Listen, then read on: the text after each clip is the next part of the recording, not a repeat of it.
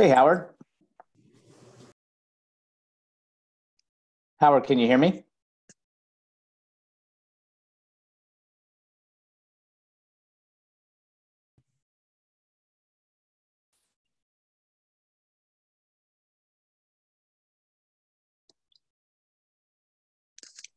Hello?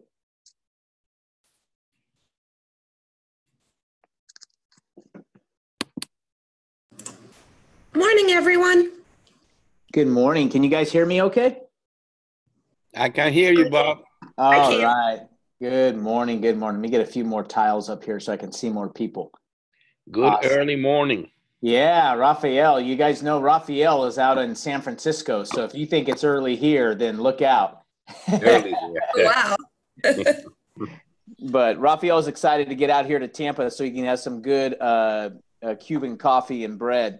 Uh, um, so uh, and and start I- enjoying these meetings. I got my- You got yours. You're ready, huh, Raphael? Yeah, absolutely. Awesome. Good deal. Good deal. Well, um, we'll give everybody a couple minutes to see if anybody else is logging on. Um, and uh, uh, this is what um, my plan is for uh, this. I don't know if I have mine. You guys can hear me, right? Because mine says I'm Yeah. muted. All right, maybe I have. a Yeah. You're okay. Oh, I got this up. Everybody, I can hear everybody. All right, good deal. Um, mute that just to make sure. So, okay, cool. Um, all right. So, uh, anyway, so my plan was is that I was going to. Um, this will be our final session for this session, right? So this is uh, uh, technically session six. Sometimes we have seven. Sometimes we've had eight. It just depends on uh, how the flow of the uh, of it goes but I'm going to leave you with some tasks that kind of get you through the next bit, as well as if you haven't seen the others, some of you, I'm going to encourage you to go back and take a look at the intros and, and some of the other things um, that uh, that we have. My goal is to try and make this kind of a wrap up one, as well as um, give it the ability that if somebody came in and hadn't seen any of these, that they could kind of get a grasp of what we're trying to accomplish here in our 100K clubs and um, give them, uh, for lack of a better word, marching orders for the next bit to see, hey, look, what am I going to do if I'm newer? Now, Chris, remind me, are, are, what's your situation? And, and you're muted right now, so you'll have to unmute to let us know.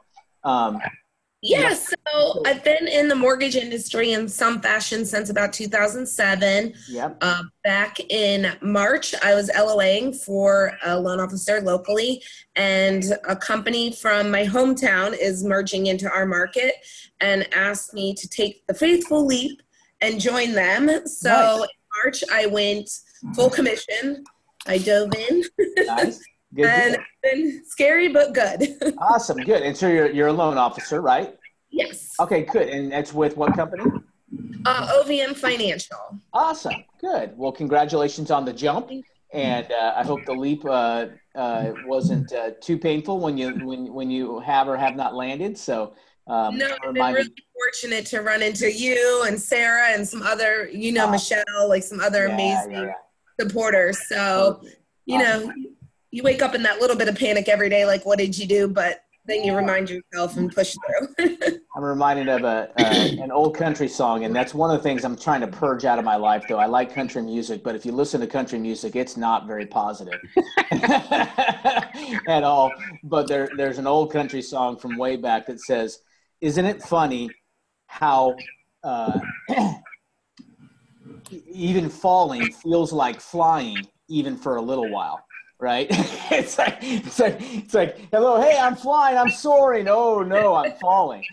yeah. I mean, it, it, it was nice to have the cushy side, but I was literally doing all the work and making somebody else the money. Yeah, So, that's- well, that's what you know buyers agents do for big teams and so on and so forth. So, but that's just part of the process. So, well, good. Well, I'm glad you joined us, and uh, thank you. and this obviously has application. You know, we we don't focus exclusively on real estate, even though I believe that these are principles that work regardless of the industry. It could be somebody jump in here that wants to grow their floral business for all I know, right? And and the principles are the principles. So, um, Well, that's good. Well, let's let's get through this, and then I want to have some time at the end if you guys want to ask some questions of me. And obviously, I'll, I'll wrap up, and, and and hope you guys know that I'm always available, right? Uh, uh, and the group is obviously available online.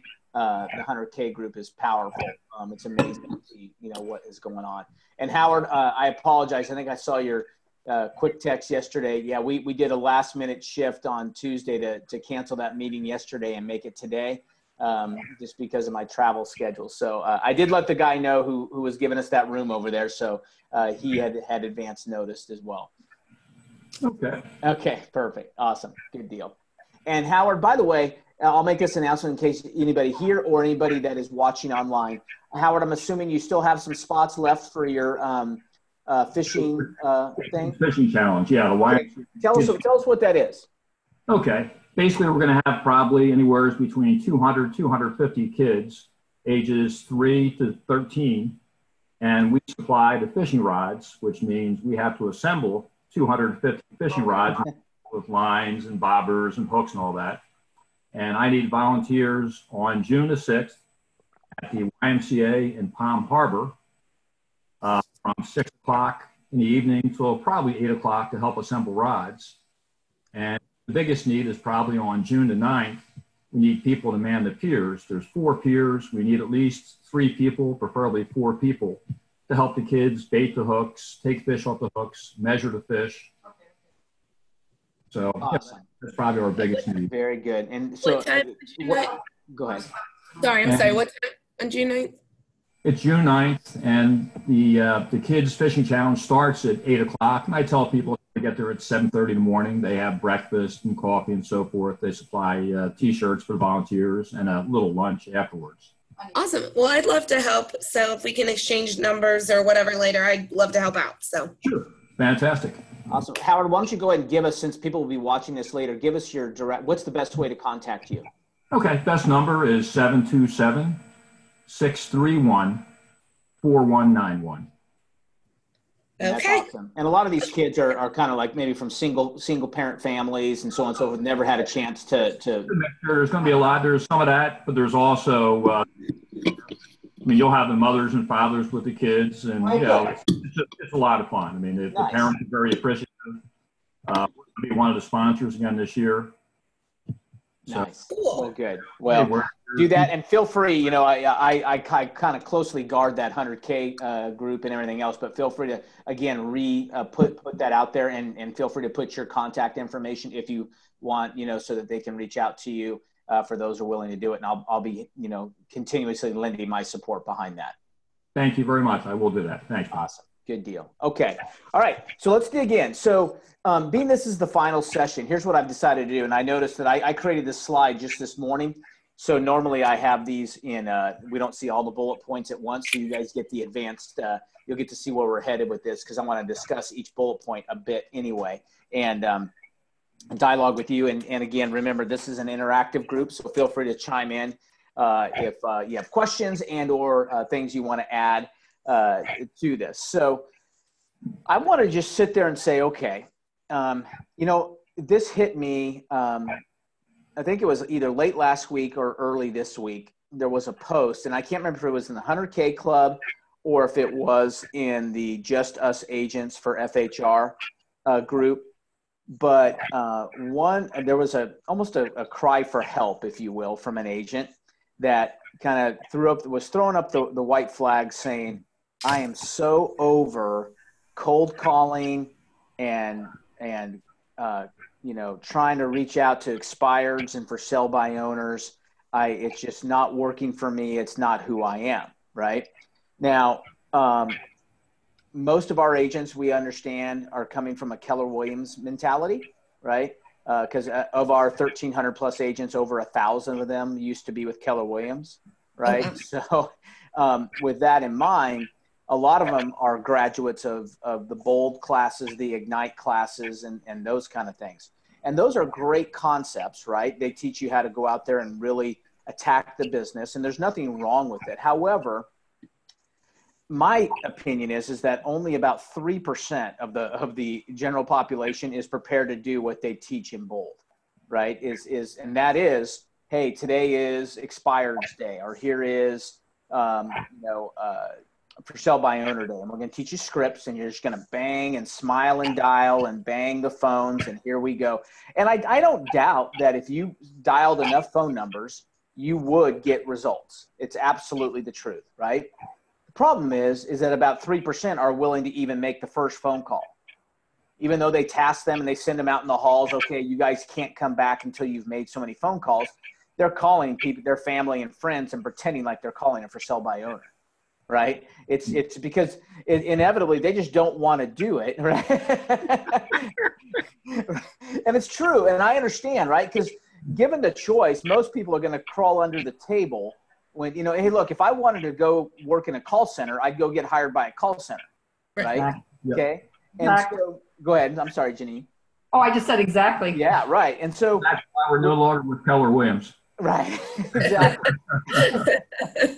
um, and I, and I get that. And, and, and again, I think it would work if you work it. But at the end of the day, even if it works, at the at, at come five o'clock, you're so emotionally drained and feeling like, hey, that wasn't who I was, that uh, it didn't feel good, right? And it didn't feel the way you'd want to be treated, and so on and so forth. So, um, uh, so when I when I saw this young lady raise her hand and, and reach up, I was like, and, and many of the agents jumped in and said, well, that's because we don't do it that way. That's why you're burned out. That's why you're not having the success.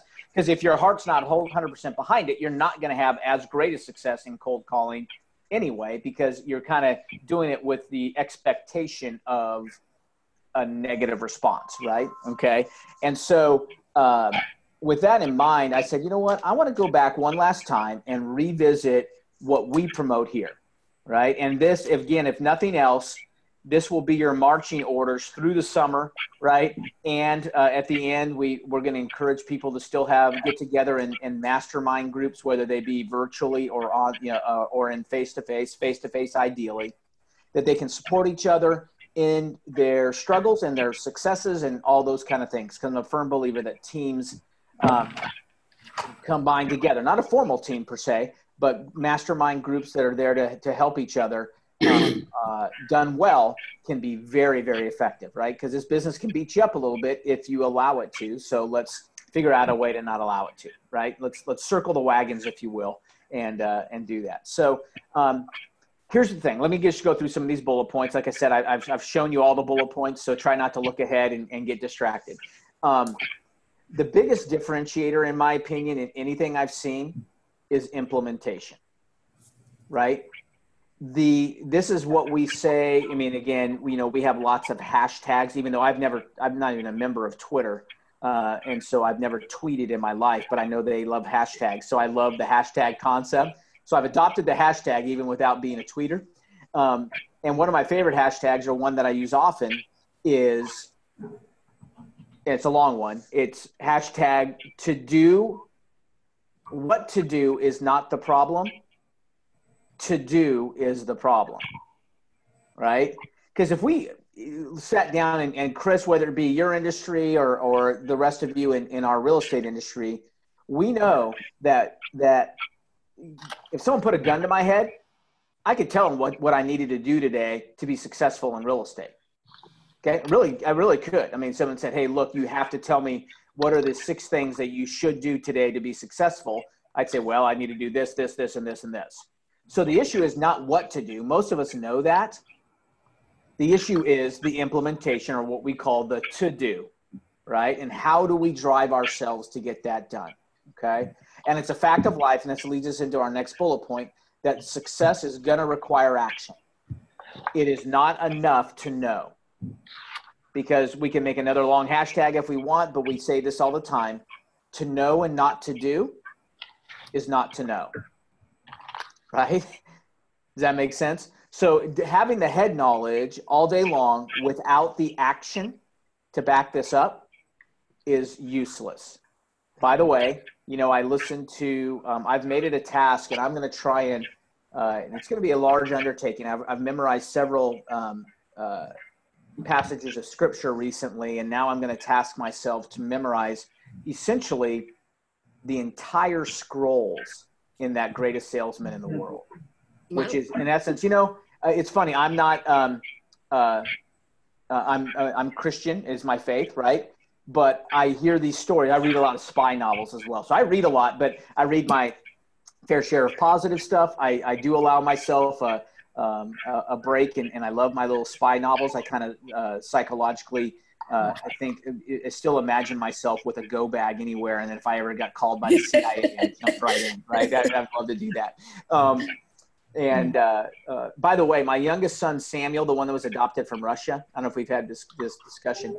He actually is um, uh, very dark skinned. You know, people think he doesn't look like he's from Russia because he was from the southern region, which is like uh, Georgia and um, closer to the Middle East, really, right? And his name was Samir when we when we got him. He's now, but he was Samir, right? But uh, he was almost three when we got him. But I guarantee he would be a perfect CIA operative just, not only does he have the look, right? So he could blend right in, right? He could go to the Middle East and blend right in, no, no, problem whatsoever, right? Um, Bob, you'll but, never, Bob, excuse me, you, you'll never know who is a CIA agent. That's right. Raphael, it could be you. I. That's why. You know what? Let me stand back, and, and I agree. Um, you guys talk about me, right? Well, hey, you say I, I, I have a home in Nashville, but you don't know where I go when I leave here. uh, it's funny. But the other thing, Samuel, when he was when we only had him about a year, I remember. You know, we live in in in Tennessee. We all our garages that are in our our basements on the basement level, right? And we have two story homes on top of that. And so Samuel's bedroom is on the third floor, and he goes to bed early. And I remember one night I was taking him, to, or one morning I was taking him to uh, uh, uh, his preschool, and um, he said, "Hey, Dad, where'd you go last night?"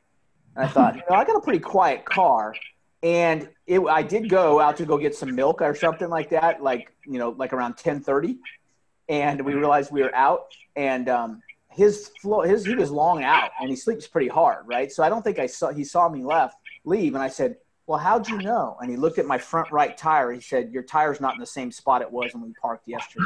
uh, you know, I said, okay, all right. So, all right, I like that, right? It's uh, CIA right there. That's right. He's got, he's got. I like him. I like yeah, him. Me too. so, that being said, um, okay. oh, I don't know how I got up on this. What was I talking about? Um, spy novels. Spy novels. Oh yeah, yeah, yeah. Oh, here's what I figured is that in my spy novels, all these religious zealot jihadists, right, in my spy novels, have all memorized the Quran, right, front front to back, cover to cover. I figured, you know what, if Dadgummit, if they can do that, then I can memorize. My brain is powerful enough. And, you know, and it's true. We know that some of these people have memorized the entire Quran and so on and so forth. And why wouldn't I? First of all, as a Christian, that's why I memorize a lot of scripture because we're tasked to, right? And you know, thy word have I hidden in my heart um, that I may not sin against thee. Is we're we're we're tasked to do that um, um, as well. But um, why not memorize some positive and put it in there? So anyway, all that being said, I was listening today to Scroll Nine, the greatest salesman in the world, and it covers this right here. Success requires action. If you go back and look at scroll nine, it's I will act now. I will act now, right?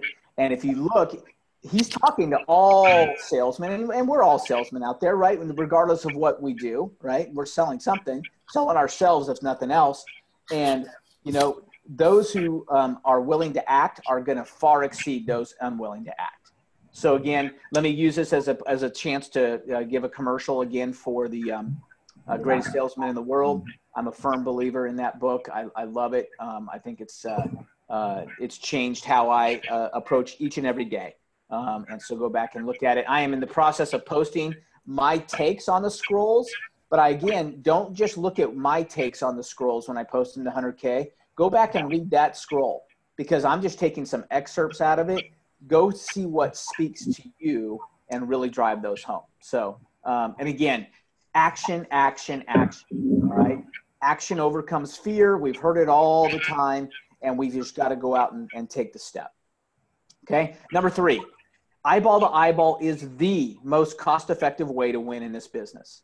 Raphael, you and I had an appointment on Sunday um, to chat, and, and we couldn't connect because you got so tied up at your open house, right? Because out there in, on the on the West Coast, and we ended up missing each other in the time frame that we were designed to talk. But I thought, what a great, you texted me and I said, what a great opportunity to know that you were tied up and your open house was so busy that you couldn't do it. And there, A, not only were you taking action, right? Obviously you were, but um, here's another long hashtag, right? Eyeball to eyeball beats pixel to eyeball every day of the week, right? And we hear the stories time and time again where some other agent has spent two to three thousand dollars a month to have a couple Zillow zip codes, right, to generate this business. And they've been dialoguing back and forth on Zillow because they're the premier agent and so on and so forth. That person who's dialoguing with that premier agent gets up, is driving to Lowe's to go pick up something, sees your open house sign, walks in the door, and sees Raphael's smiling face, Howard's smiling face, Janine's smiling face, shakes hands, and it's over. All those thousands of dollars that this person has spent out the window because they've had a chance to come eyeball to eyeball with you. Right? And after your signs are purchased, there is no cost. Right? That is why it is the most cost effective way to win in this business. Um, little side note. So Michael Mayer was back in town, right? Uh, doing another, you know, thing, prepping for his June 22nd event. And uh, Sarah, uh, Chris, who you know, um, had uh, uh, set it up. And he had back to back, well, he had a, a, morning session and an afternoon session this time. And we had a chance for about probably eight or 10 of us to have some lunch with him in between, right? Uh, in between his sessions. And chatting with him, you know, he, he's a, a fantastic businessman He's got an incredible story. He lives out what he teaches in his book. I can attest to that. I can now call him a friend.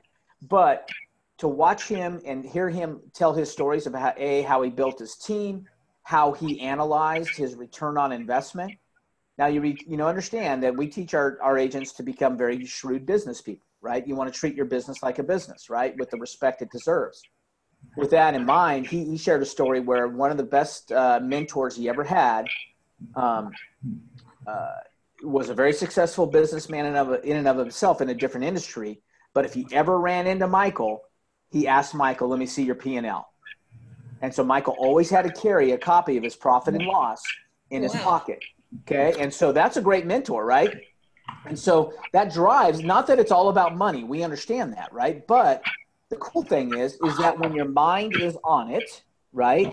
Then you're cognizant of what you spend. It's kind of a Dave Ramsey approach, right, to to finances. That hey, if my if if uh, if I'm aware of my situation, right, it's also an Alcoholics Anonymous approach to the world, right? That says, hey, look, I can't fix what I don't first admit, right? If you go to any 12 step program, the first thing, uh, the first step is I admit that I have a problem, right? Until you can come to that point, then you'll never fix it, right? And so with that in mind, Michael had made a lot. Oh, there's your P and L. Good job, Janine. I love it. That's awesome. See, all right, you passed the Michael Mayer test, right? Because he'll to ask people. That's awesome. We're um, working on taxes, so the table's all full. Oh, see, there you go. Understand it's a good time to take a look at P&L. I'm looking at mine as well because I'm getting a mortgage loan for my house out here in Windermere. So um, I, I, have to provide P&Ls on a consistent basis. Oh, I need another updated one. I gave you one two days ago. We need another updated one. Uh, so those those loan officers, Chris, I'm telling you, man. I know it's not you. It's the it's the underwriters. You guys blame me. It is. I get it. I get it. It's how they get back at us. That's right. Exactly and they're just protect they're just CYA so if anything ever does go wrong they can prove that they did. They followed checked all the boxes so. They did yes. Yeah understood. Uh, and they have a job to do so we we're okay they do. I don't think most realize that you know they're scored. Yeah. So if they're scored based on how many loans get sold back and uh, various other things so they can lose their jobs if they don't do a good job. I don't think people realize Makes complete sense. And they're paid by the bank to do what they're supposed to do is to try and yeah. assume the worst in everybody and, and talk me into giving you this loan. You're guilty until proven innocent.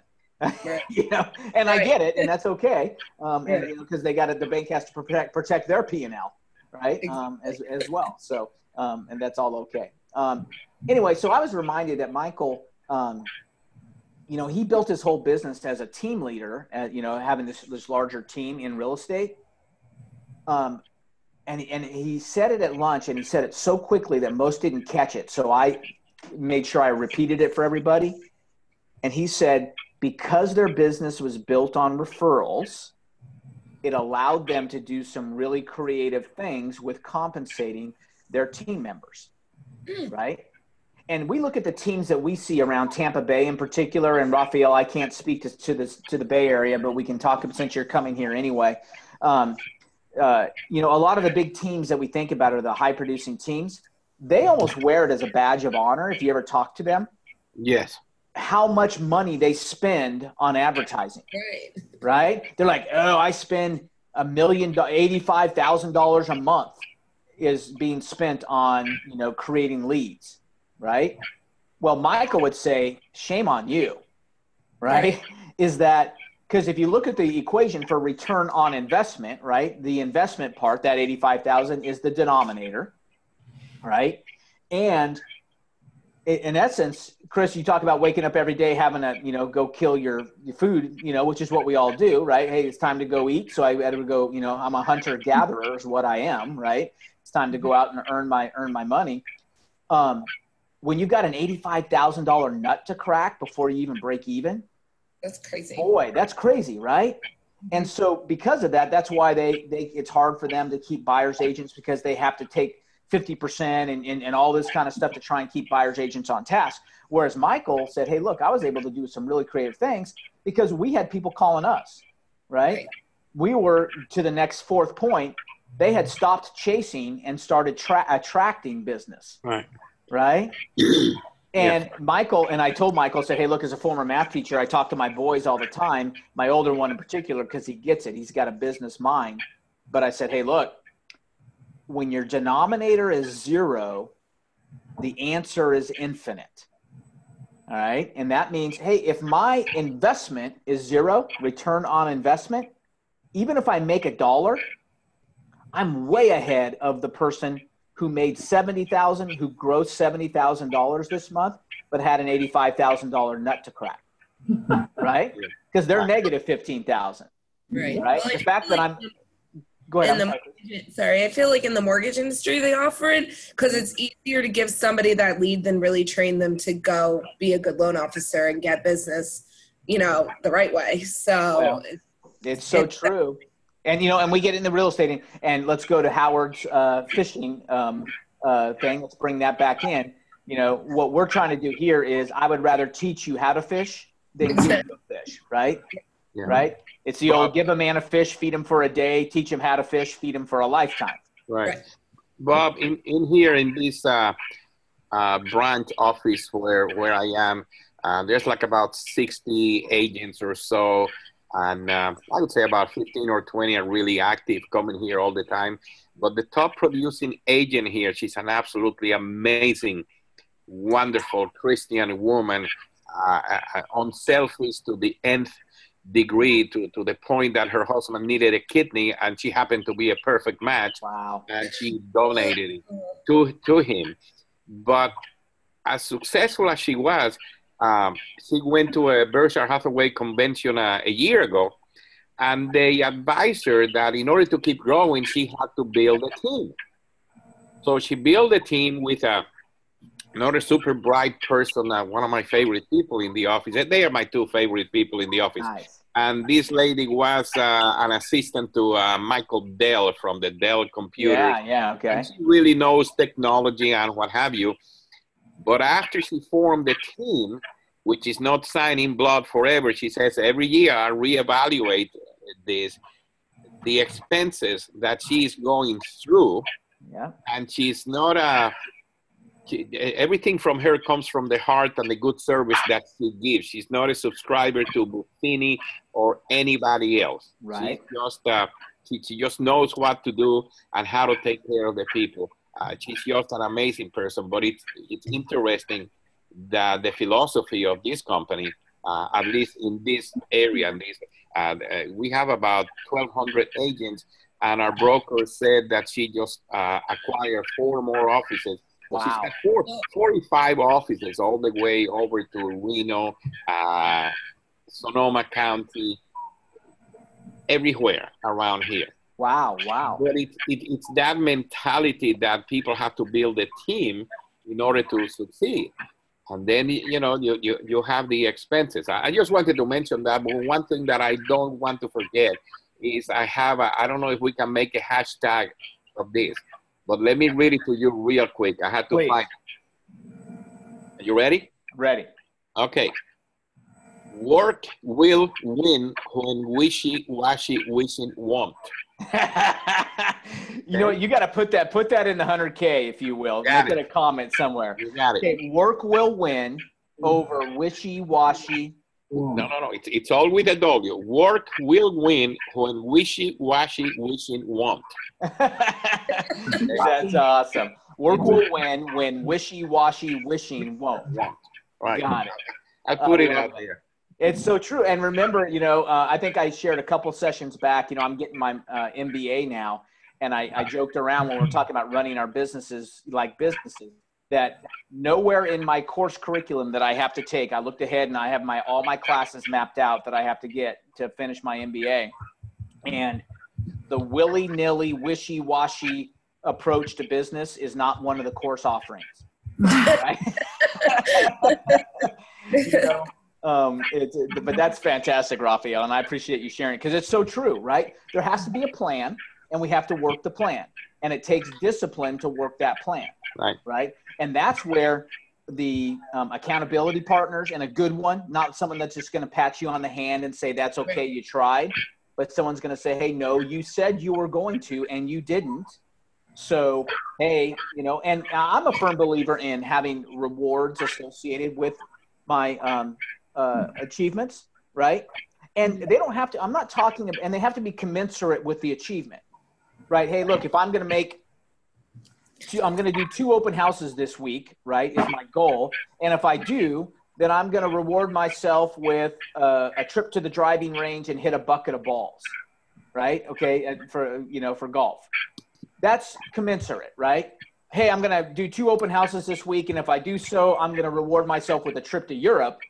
All right, doesn't you know there has to be a balance there, right? You know what I mean? It has to match up with what you're doing. But let me warn you here, and, and we've talked about this in the past, is um, when you set a goal and you set a uh, reward associated with that goal, be sure that you follow through. All right? Two reasons. You don't want to first, here's the danger. Let's say I said I was going to do two open houses and I did one, and then the second one I got called away after two minutes in, so I really only did one, right? Now I could convince myself that I did two and reward myself. The problem by rewarding myself, even though I really hadn't done two, is that the next time I set a goal, I'm not going to push myself because my mind is extremely powerful. It's going to say, well, last time you kind of fiddled through that second one. You kind of so just go ahead and do one, and then you'll be you'll you'll be good, right? So you don't want to get there, nor do you want to physically do two, and then get so busy that you forget to reward yourself because the next time your mind your mind wants to push your body in anything oh last time you pushed yourself and did that you didn't reward yourself so why even do it right so you got to be true to yourself you got to be honest with your responses to your to your goal setting is that fair enough Yes. all right and raphael make sure you post that please i love that It's already done. all right, good, good deal. All right, uh, that's that's beautiful. All right, so um, we got eyeball, eyeball the eyeballs, the most cost effective. Oh, getting back to because here's the thing. Remember, when the denominator is zero, right? When my investment is zero, then my profit margin, my return on investment is infinite. Because you divide anything by zero, the answer is a lot, right? It becomes an incredible concept. So um, the lower the nut to crack, to Raphael's point, this lady, and she's got nothing set in, in stone, the top producing agent there, she may go back and look and say, hey, look, yeah, I did more volume this year, but I made less money. Right at the end of the day, my bottom line P and L doesn't look as good as it did last year, and that's why we need to analyze, um, you know, from a, a real estate perspective. Okay, what's our true uh, uh, out of the gross commission income? We have to be aware of that because having a volume um, goal is great, But if I did 7 million this year, but only averaged 2.1% commission rate on that 7 million, now I'm at 142,000 of, of gross commission income, right? Whereas if I had done only 5 million, but Mhm. averaged 3% on my commission rate, now I'm at $150,000. So I'm actually grossing more, doing less. So these are things we have to analyze and see where we are and, and have um, all those numbers in mind. And I'm a firm believer, and if you've ever been to any of our offices, you understand that how in the world can you have 1,300 plus agents and uh, a total of seven offices and, and across the state, and uh those total of seven offices, unlike your, your offices, Raphael, um, I think the total square footage of our seven offices is maybe about 82 to 8,400 square feet in total between them all, all of them added up, right? Um, because we're a firm believer that I can pass along the, the money to the agent because I keep my overhead in check as well. You know, providing agents Right. what they want without, you know, um, uh, getting that there. So, Good good morning. stuff. Yeah. Do you have something you want to add? I'm sorry. No, no, no. I was just saying good morning to Oh, uh, okay, gotcha. Uh, another early riser here. All right, perfect. Tell them to jump on in and join us. We're happy to have them. All right. um, all right, so we're going to stop chasing and start attracting, right? Remember, we stop, we we stop and say, hey, look, the Michael Maher effect is that hey, we're not going to tr- strive to do business with strangers. Why not do business with people who already know, like, and trust us? Are you with me? Right? There are people that know, like, and trust you. So why not? Let's focus our efforts on that. Or if we are meeting strangers, let's not chase them. Let's just be so attractive that they feel compelled or engaged to be around us. Right? Now, I use two words there compelled and engaged. Right? Let's change those to verbs and say, or more active verbs, let's say that, and say, guess what that means? That means I need to be compelling and engaging, right? if I want people compelled and engaged to do business with me, then I better be compelling and engaging. And guess what? Okay. Compelling, engaging right here, right? Salesy right here. Right. They are polar opposites Oh, agreed. right? Okay, they compelling and engaging does not mean that you're slick tongued and silver lipped or whatever the term would be, right? That you've got the greatest scripts and people just fall over in your wake just because of who you are, right? And what you said. You know what the the the the the, the part is? You're genuine. When you're genuine, full of integrity, show that you care, this compelling and engaging is a byproduct of that right? And that's all you got to do. You just got to go be you right? Raphael you just got to go tell your story. Raphael's got a fantastic story about how he came here from cuba and his parents sent him here you know uh, without them just so because they wanted a better life for him. It's a fantastic you know but that's a story that is compelling and engaging because it's honest and sincere and you can tell the integrity and he loves our country and uh, his country and and and everything else about that. So it's a very compelling thing. Each of us have a compelling reason for people to want to be around us. And if it's nothing more than you know what? I'm going to look at you with love in my eyes scroll number 2 right? And i'm going to engage everybody and say hey look i want to serve you right? Michael Maher shared in this, and I didn't know this, but you know the root word of deserve, right? You you feel like, hey, look, I want to deserve the business. Deserve the Latin. It comes from Latin roots of of service, de serve of service. So you deserve relationships, you deserve introductions, you deserve referrals because you have earned the right or you've been of service to them. Does that make sense? So what a better way to go through life though, rather than hey, today's the day we're going to cold call chiropractors, right? Instead, hey, you know what? I'm just going to go be of service to people, so I can of serve or deserve the business, right? It's just it's a powerful way of going. So if we're going to stop chasing people we don't know and start attracting that those that we do know, or even that people that we just newly meet, that they, you know, would feel that they, they are attracted to us. That means the next step, the next bullet point down here, that means working on me and making changes, right? If I'm going to attract people, then I need to be attractive. And how are we attractive, right? Well, and that our Western mind automatically goes to physically attractive, right? Okay. But the reality is, is that remember we teach we're going to work on four LYs, and the four four LYs lead us to the fifth LY, right? And let's go over the four. We're going to grow spiritually, emotionally, intellectually, and physically, right? Those four components by the way, I think I shared last time how I thought I was just genius because I came up with those, and then I reread uh, uh, Covey's Seven Habits, and the those, just, in order to do that, he wrote that in '89, long before I was involved in anything like this, and said, in order for us to grow in any any, any area of life, you've got to grow spiritually, emotionally, intellectually, and physically. And I thought, oh, okay, great. So maybe it wasn't an original thought, but that's okay. Um, actually, when they're not original thoughts, that usually means they're they're more principled right? That they've been around a while, and that's usually long lasting and, and, better stuff anyway, right? So, um, and, and that that's good. And then the fifth LY comes as a byproduct of those four, right? We're, we're, we're better in these things.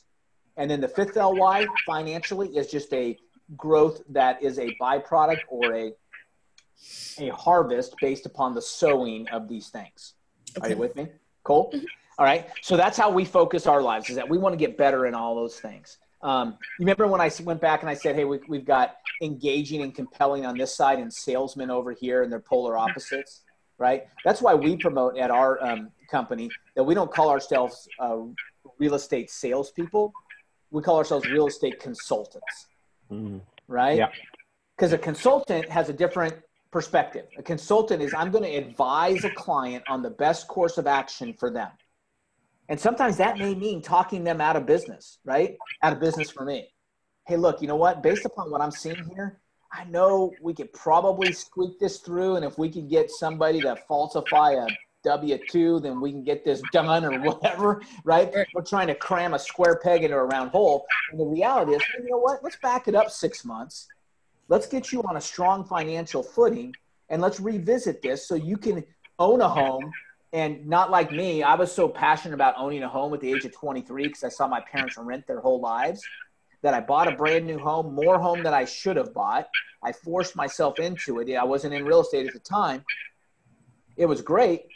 But then I looked around as a brand new home and for the next six months, I had sheets on my windows because I couldn't afford window covers. oh goodness! Right? right? It's just like, and they weren't real happy with the HOA. All right, get the sheets down. You know, these are all retirees. I'm like, I'm broke. And they said, "Well, why'd you buy too big a home?" I just did, right? And so, um, been uh, there and done that, and got the T-shirt. Yeah so why not let's back it up and let's let's let's help people consult them right to make right. good and you know at the end of the day every time i've consulted people and even if i've consulted them out of business seems like those are the ones that refer me the fastest right right and i get this all this batch of new business that i never knew because i just did the right thing right and, and to help people so um, that's how we like to do that right and then, if you remember, this is one of our other hashtags down here. The last one is you have to earn the right, right? That nobody is obliged or obligated or owes you a referral or an introduction. I see endless post after endless post after endless post, agents posting, so frustrated. My friends know that I'm in the business and they use somebody else. So they, you know what I mean? We see it all the time, right? And the reality is, nobody owes you anything, right? You have to earn the right to be introduced or to be referred. And that means, in Michael's terminology, you have to go give massive value first. You right. can't expect massive value from somebody just because you passed a test and because you went to third grade together. Right? Okay, it does not that you know it that is not the the requirements. Those are not the requirements for a referral. I have a license. We went to third grade. You owe me business. All right. It doesn't work, right? Now it can, but you still need to be engaged in giving them massive value, whatever that might be. And it may be as simple as introduction to a good mechanic they can trust to, hey, I just stopped by this great bakery and thought you might like the croissants there because I know you were just in France and we're raving about all the great bread there. And this is about as close to Paris as I've seen here in Dunedin or whatever, right? Okay. Yeah. And so um, when you do that, though, they don't know it. And here's the dirty little secret is that they're psychologically obligated to reciprocate. They are. Because you've gone and done it without pretense, without expectation of, a, of, a, of, of them, you know, returning the favor. But when you do that, when you go give of yourself to them, when you go donate time to a nonprofit, when you go do all these things we task you to do, and we're going to cover those at the end again, a reminder of why we make that part of our commitments, is that there's reasoning behind it because when you do those things, good things happen. Some people call it karma, some people call it uh, fate. Um, I call it blessings, right? And other people have different terminology for it. But when you do the next right thing, good things come back. It's just, it's the law of the world. You can't, of the universe. You can't stop it, right? It's just. Bob, I'm sorry. I'm, go ahead No, and go finish. No, I just wanted to say that one of the things that has always bugged me, I don't know why it, why it bothers me so much, is when I get a, either an email from someone or a business card, and either at the bottom of the email or in the back of the business card, it has the quote, the biggest compliment that I can get is a referral from you to all your friends, da, da, da. Yeah. I, I find that that is so annoying Oh, it is. To me, to me, the biggest, the biggest compliment is uh, uh, one of my clients. Uh, as I made, I think I mentioned to you the other day, calling me on a Saturday afternoon saying, "You want to go to a baseball game?" And- Oh, cool. said, yeah, uh, uh, sure. That that's, you know, my my wife's uh, sister husband is sick, and uh, you want to go to a baseball game? Sure. It turns out to be a no hitter. That's an accident. Nice. Good- You were there, then you no hit the Red Sox. Uh, yeah, against Yeah, Boston. that's right. I mean, Yeah. you know, I think I saw you posted live from there, right? You post, yeah, I remember. That's great. Yeah. So you know that that that's a compliment, and I and I get calls from uh, my clients, but a referral. th- th- There's just so many ways that you can use uh, verbiage and and what have you that just to stay on people's minds all the time. A note and you know a, a pop by, but a pop hi- a pop by from the heart not a Yes. pop by. Hey, uh, remember me when you got a friend and Right. Yeah. It's and you're right, Raphael, and I'm glad you brought that up because we teach early on in our sessions that we are going to exclude this this phrase from our terminology. Everybody, I make Thank them raise their right hand. Says you are not going to end every sentence with. By the way, if you or anybody you know is looking to buy or sell real estate, I really would appreciate the referral. Right? Okay, we are t- from early on. We're weaned on that. You get out of real estate school; it's the first script they make you they make you memorize, right? And I'm telling you, Michael likes to joke that if you do that enough, you're going to end up in the NFL. It's called the No Friends Left League, right? Because if everybody you talk to says, "Oh no, here he comes again," or "Here she Right. comes again," I got to run the other way because the last thing you're going to do, it's like punctuation. Every sentence he ends with, by the way, anybody looking to know buy or sell real estate. By the way, you looking to know buy or sell real estate. By the way, anybody looking to know looking to get a mortgage, right? It's just Right. okay. Stop it. People will avoid you like the plague, right? Because that's not what they want. But if you go give massive value first, you know what they're going to do? They're going to call you up on a Saturday afternoon and say, "Hey, Raphael, I got an extra ticket to the game. Do you want to come?" Mhm. Yeah. right? And guess what? That guy, if he anywhere in the world here's somebody that needs real estate services, they're going to say, "Oh, you got to call my guy Raphael." I'm just telling you, that's a given. That is there is no doubt in my mind, right? And not because you asked for it, but because you've earned it, because you've earned the right. Now, this one, and I'll tell this story, and you may have heard me tell this. So, um, when I spend time in Nashville, um, Nashville and Orlando is kind of where the two houses are now. We're back and forth, but we spend still quite a bit of time in Nashville. and at the time, we don't attend there anymore, but there was a church we were attending, Brentwood Baptist Church. Brentwood's a suburb of Nashville, very large, very affluent. Probably eight to 10,000 people attend church there on a weekend. Oh, Right? Huge, right? Huge. Really cool church. The pastor's great, very level headed. Um, and, uh, but you got a church that size, right? There's some pretty cool stuff that they can do because they have resources, right? They've got financial resources and they've got people resources to do some pretty cool stuff, right? Well, they decided, hey, look, you know what? They did a poll and they, they found they got 80 dentists that attend, right? So, church that size, you got to get about 80 dentists that attend there. They just said, hey, look, once a month, would you donate three or four hours? If we put together, and what they did is they outfitted this mobile dental lab, right? Uh, like a, a, a, a, dental a dentist chair on we on, on, on wheels, right? Uh, in, a, in this souped up RV. And it said, if we did that, would you donate three to four hours a month to come and, and help us do this, right? So they put this team together, and what they do is they drive that to the inner city, all right? Because like I said, you got a very affluent, you know, area in where where this is, and they drive this to the inner city. They open their doors and say, "How can we help?" Right? And people come, "Oh, I've had this nagging. I don't have insurance." Right? And so they start fixing people's teeth, and while they're fixing their teeth, they just at the end say, "Hey, look, is there anything we can pray with you about? Any way we can help? Anything we can do to assist your family?" Right?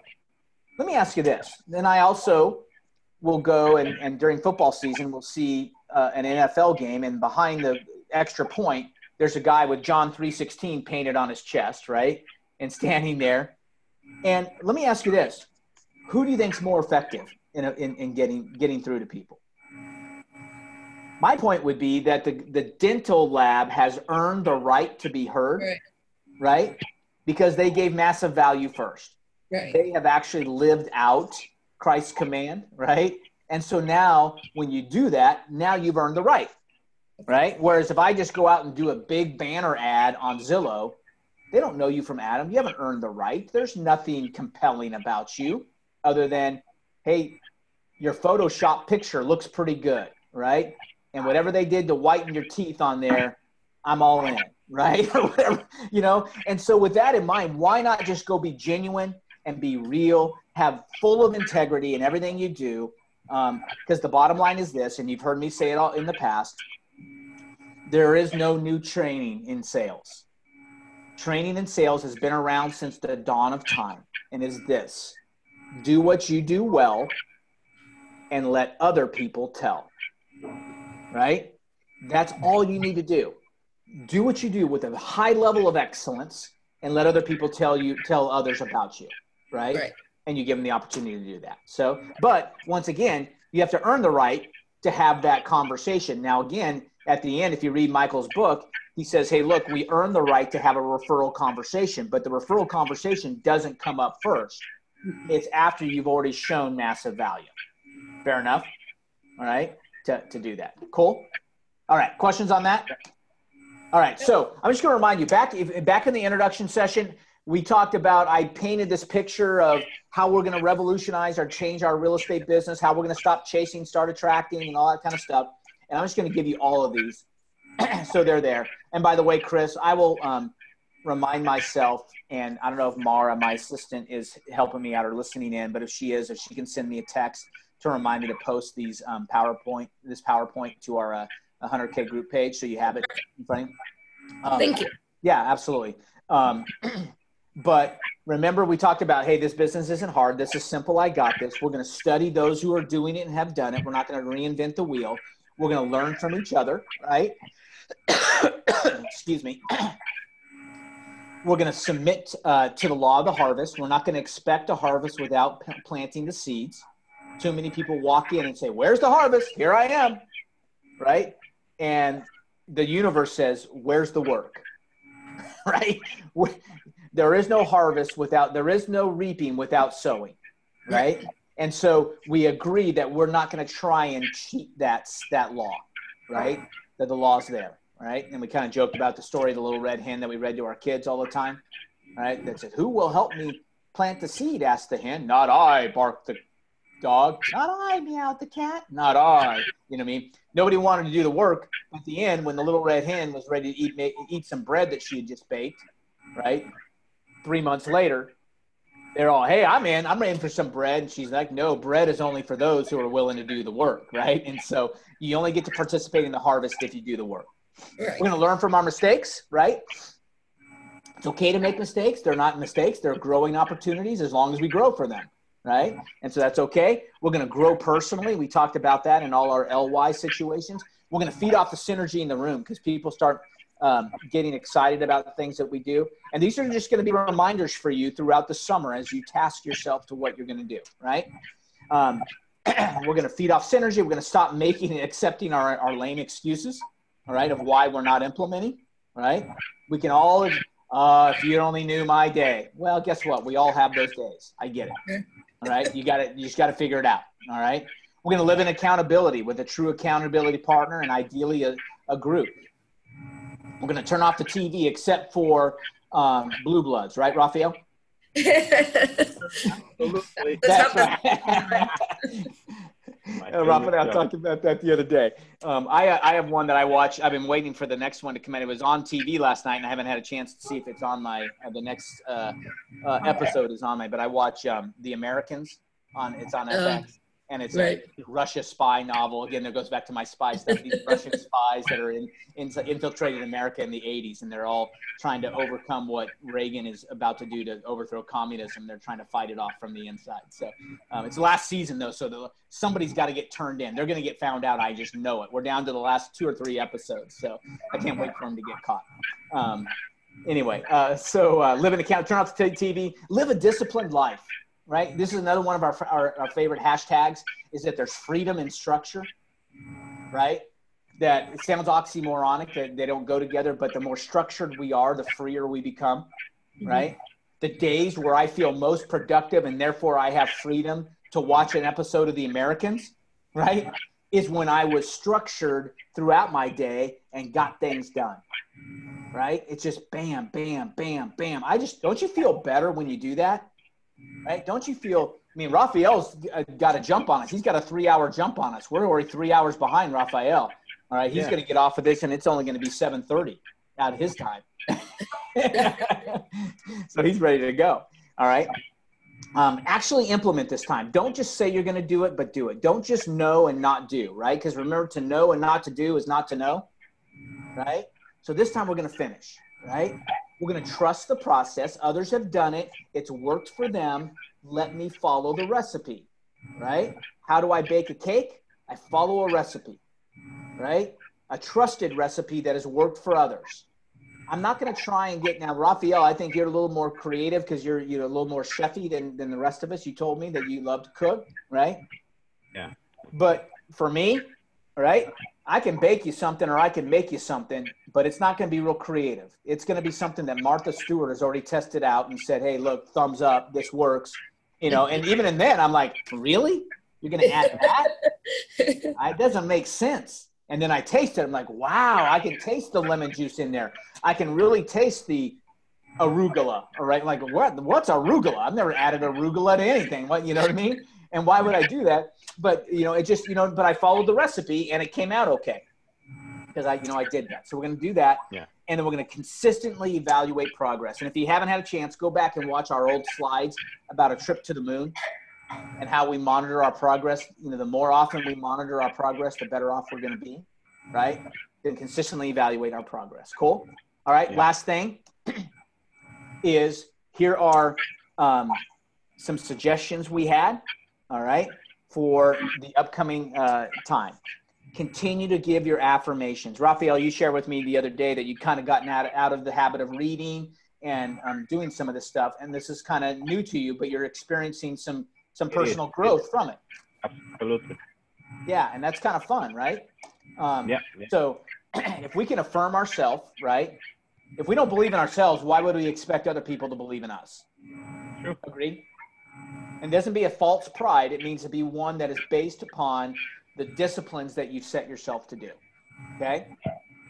We're going to make the four rituals a way of life. Again, if you don't know those, we have the morning ritual, the pre leave ritual, the pre sleep ritual, and the Sunday night ritual. The old slides will show you that. Old sessions will go through though. The book goes to it in, in great, Michael Maher's book goes in great detail. All right. make those a way of life. Continue to f- treat your body well and eat correctly. Right. Continue. I would, trust me, if I could out exercise bad eating habits, that would be my choice. right? Because I feel like, you know what? I'll get up earlier and I'll do an extra hour of workout if I could just eat the way I want to eat, the way my tongue tells me I want to eat. But I've had to learn that I, I can't be a slave to my tongue, right? Scroll one says, I will form good habits and become their slave. I'm going to be a slave to good habits, right? And so I've had to change and really work and you guys have heard the story about how Jeanette read years ago how oatmeal and whole grain oats are the virtual, and I quote this book directly, the virtual Muhammad Ali to good for fighting off bad uh, enzymes and bad uh, uh, uh things in our body, right? So from that day, the days of me having a nice slathered bagel with cream cheese or pastry with what I wanted for breakfast, you know, have gone away, unfortunately. And I get, she has allowed me to dress up my uh, oatmeal with some sort of, you know, maybe a little bit of a granola type, healthier, grain free or, you know, gluten free granola type thing. But um, other than that, I've had oatmeal a lot um, uh, over the last three years. But, uh, you know, my blood work comes in strong and healthy on a consistent basis, and I've seen a change, right, um, in doing it. So, physical fitness, eating right, meet with an accountability partner consistently. Find somebody that you relate with, that you can hold accountable, and they can hold you accountable. That you have a good time together. You can enjoy. You can have fun, but there's work getting done. Okay, make that a task. Find or create a mastermind group and help each other. Howard and Janine, I know after the last session, you guys had a good little group there at your office and and did it why not engage those people and say hey look you know what once a month let's get together and just live life together if nothing else let's just break bread right right, right. let's just you know get together and share how are things going what can we do to help i don't want it to be a replacement for your individual accountability partner but there's power in the group if you remember the story of how i told you about how the uh, people went by the um, i went by that running that running store that morning and there were about 50 people outside, even though it was eight degrees. It was 6:30 or 5 5:45 in the morning, and they were ready to go out and go for a nice long run. But all 50 of them were there. If they had to make the decision individually, and they knew that the only person that would know was them, they would never got up when it's eight degrees to go for a 13 mile run. Trust me, right? But when they know they've got a group that's waiting on them and counting on them, then they're in, right? then they and there's power in that. So seek that out. Find it right? I don't care. Create it. If you have to create one yourself go make that happen. I'm going to highly encourage you to do that right um, uh, perform as many traffic generating events as is necessary to achieve your goals How, you know what does that mean i want to sell so many homes and i only have so many deals in the pipeline there is only one answer you've got to plant more seeds right if your harvest isn't producing what you want, then you've got to create the harvest. But you can't create the harvest overnight. You, you know, you have to go do the work. And I don't know what that means, but you have to do decide to get that done. Okay? Next one, have one-on-one meetings regularly. That means earn the right. Go give massive value to people. Take them out to coffee. Have lunch. I haven't caught up with you in a while. And to Raphael's point, we don't do it for the expectation of a referral. We don't do it so that at the end we can say, hey, we're dabbing our mouth. That was a really great lunch. By the way, if you or anybody you know, right? that is not what we're supposed to do, right? It's like at the end, if you're going to say anything, hey, Raphael, man, it was great catching up with you what can I do for you? What's your biggest challenge right now? How can I help you? Boom. And you sit there and be a listener. That's how you consult people, right? How do you do needs based selling? Needs based selling is you've got to listen to a need and help them meet that need. Too many of us are talking about, hey, here's how we're the greatest. Here's why you should use me. Here's why I'm the best. Here's why my mortgage company has the best rates. Here's why we have the best service. Da da da da. da right? Forget that. Listen to their need and say, great, let me help you. And that could be a need of anything, even outside our industry. Fair enough. But you can have the opportunities by doing that, by having on one-on-one meetings. And, and remember, one-on-one meetings are eyeball to eyeball, right? Because eyeball to eyeball beats pixel to eyeball every day of the week. I would much rather be together with all of you face to face. It would be even a more effective meeting if we could, but logistics don't allow us. So this is a second best option. But the reality is, when you're meeting with potential people that could be referral sources for you, you want to go give them massive value. Idea the best place to do that is eyeball to eyeball. Right. Right. Right. Yeah. You know, um, and then finally, stay disciplined, grow, monitor your progress uh, consistently. That's what the Sunday night ritual is all about. Adjust as necessary. That's also what the Sunday night ritual is all about. And finish. Don't allow yourself to go halfway. Let's not just start bridges, let's finish bridges, right? Because there's only one way to get across the river is if the bridge is finished, not having six different started bridges with none of them finished. Are you with me? Cool? Yeah. And the last thing is, I'm going to remind you, these are our commitments that we uh, uh, started with way back in the day. you can take a look at those. You know, I'm learning. I'm, I'm getting way better at getting eight hours of sleep a night. I've had this slide for years now, and I'm finally worked myself off from six to six and a half to seven, and I'm learning to con- to control my time better so that I can and when I do so, I stay healthier, I stay more vibrant, I stay more engaged when I do do things. And I'm learning that I had been wasting time elsewhere. And that's where I was losing my sleep, was wasting time. Not because I was so busy I can't afford to get to sleep. That was BS when I looked at it, right? Mm-hmm. It's kind of like uh, Dave Ramsey would teach the first thing you need to do if you're going to try and cure your financial woes is to track every dollar you spend any fine any um, time management guru will teach you the first thing you need to do is track every hour down to the tenth of an hour. That means six minute increments, that right? That you go through and you say, "What did I do? What did I do?" So you track it so you can say, "Hey, you know what? If I add up all these little time wasters that I was on Facebook or whatever I was doing, right? Bet, bet, bet, bet, bet, bet, bet, add them all up. There's my extra hour and a half of sleep, right there, right? Um, and I still could have 10 minutes to what, look at Facebook, all concerted in one fail swoop rather than four minutes, eight minutes, seven minutes, 10 minutes, 12 minutes, you know, spread out. And I find out that I wasted a lot of time. Bob? Yes. Our accountability meeting last week, we had um, Chris, um, I can't say his last name, but from Keller Williams and Laura. Yeah, yeah. Oh, yeah, yeah, yeah. I know who you're talking about. Howard and I at our office. So we did do that meeting. And uh, Chris came up with a really nice accountability thing. He had um, he had a checklist.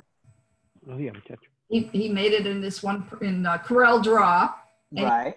Binder, and he put everything in the binder, and it was all the stuff on this list.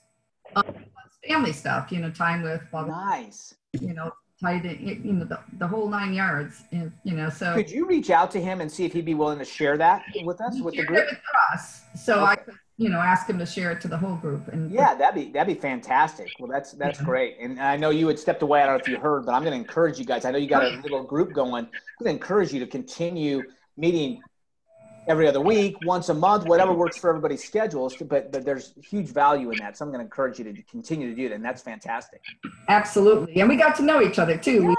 We, room while we were waiting or you know we we spent some time talking after and it, it, was really really good. So yes we want we want to start our version of jam. That's good. Well that's perfect. And, and any way i can do to promote it or help you do that let me know um, and or whatever that might look like um, to, to do. I'm happy to happy to be of assistance. Thank you. Cool. Hey bob one yeah. uh, uh, a, a, couple of things. Uh, one of them uh, is to uh, Janine, if you uh, care to in, set up some kind of a Zoom conference like this, I would love to join that accountability group. cool. So I, when I get there, when I get there, I'm gonna need help. Never been there, believe it or not, I've never been there, oh. and uh, so so I need all the help I can get. Uh, number two, Chris, I'm gonna need a loan officer out there, so we need to. You. That's Service first, so. And So Bob, Rocky- uh, When, when are you moving here? what's that? When are you moving here? Uh, it looks like it may be. I may get there by September. Okay. Uh, Oh, perfect Uh, yeah. timing. I'm gonna register for the uh, exam in uh, October 6th, but I'm gonna be there probably a month ahead of time. Uh, I gotta find a place and uh, and things like that. Yeah, I got a lot of things to do. I got a long trip out there. Gotta pack. Gotta move. Gotta do all kinds of uh, things. You know, looking forward to it. And Bob, can you go back a couple of slides to? Uh, uh, to uh, I, I got a comment on one of the points in there. Was it this Uh, one or? It, uh, one, let me see. Uh, one more. One more. Okay, I think yeah, that, that that's it. That's it. That's the one. Uh, this is something that I heard recently, and then I had the opportunity to use it. Uh, the bullet point that says "Stop making and accepting your lame excuses." Uh, I heard this, and then I asked somebody, "Hey, how are you doing?" And it's somebody that I know, and they said uh, a, a typical reply is, "Hey, I'm doing okay under the circumstances." You know, No. it's one of those uh, responses.